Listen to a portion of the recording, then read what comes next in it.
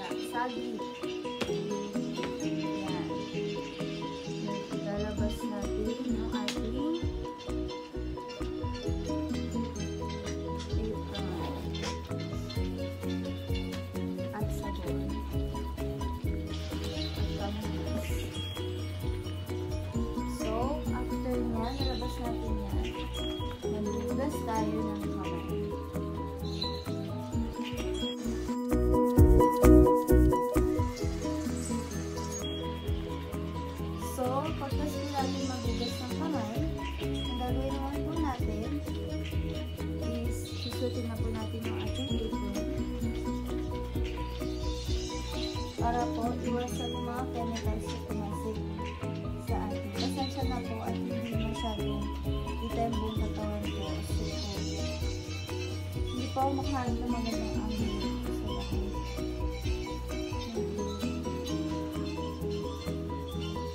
So, pagkatapos po niya, lalabas na po natin yung mga kailangan natin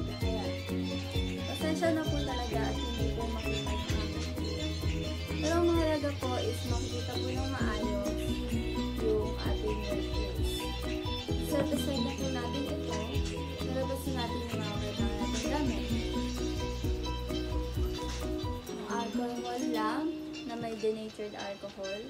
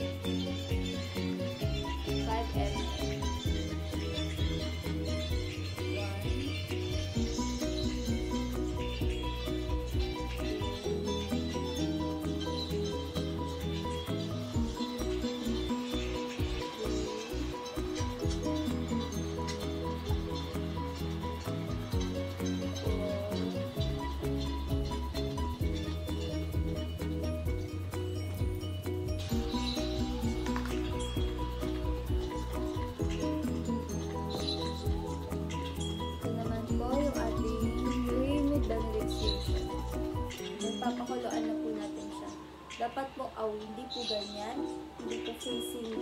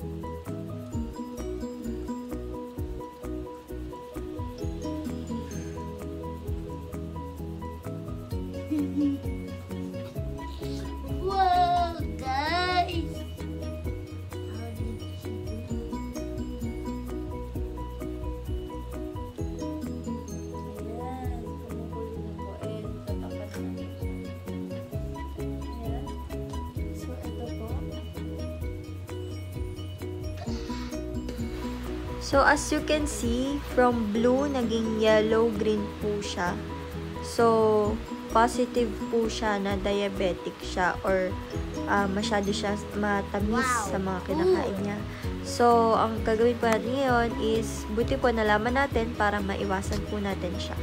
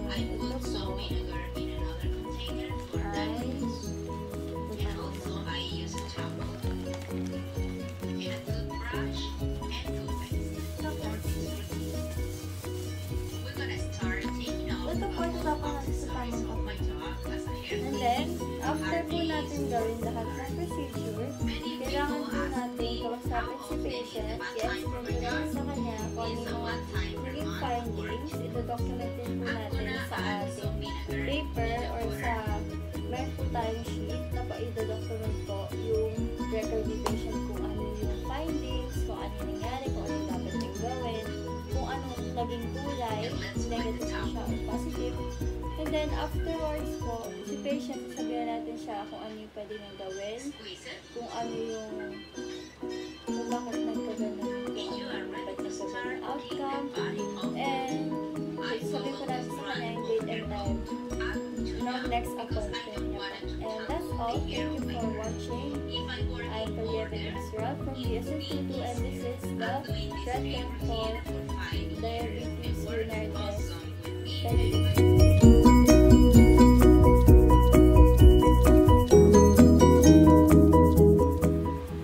So hi guys! Ang gagawin naman po natin today is albumin test acetic acid method. So, ang una pa natin gagawin is um, greet the client, explain the procedure, and magpakilala po sa client. Explain natin kung ano yung gagawin natin procedure and para sa yun and yung rationale. So, let's gather the um, equipments. So, hindi ko na po ipapakita yung mga equipments kasi po, um, same equipment lang po siya as Benedict method. Ang pinakaiba lang po is yung solution. Um, gagawin na, gagamitin natin ngayon is acetic solution. So, let's wash our hands and let's go! So, let's begin. Nalagay po natin first yung paper lining.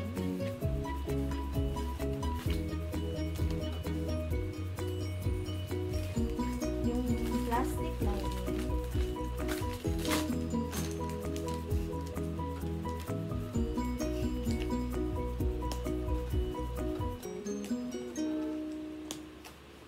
Up the bag.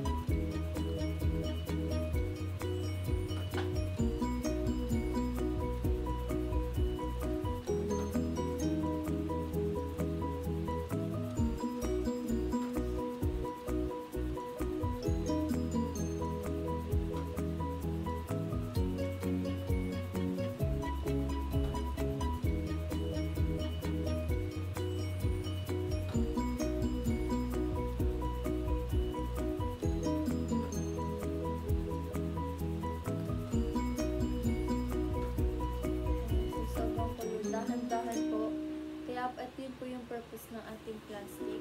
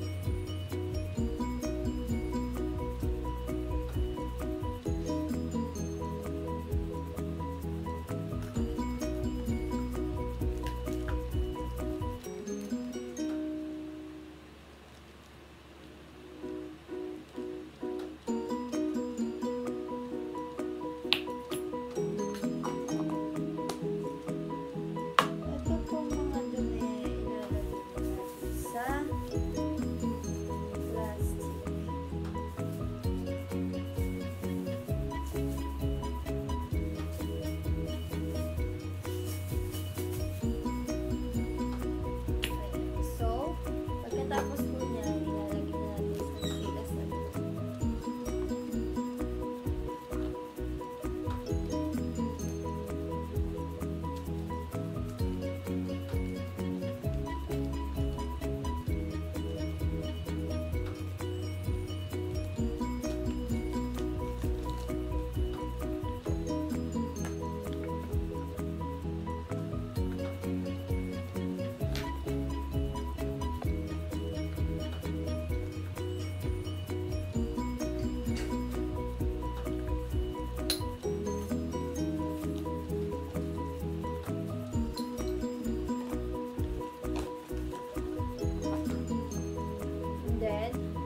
assuming na nakawash na po tayo ng hands.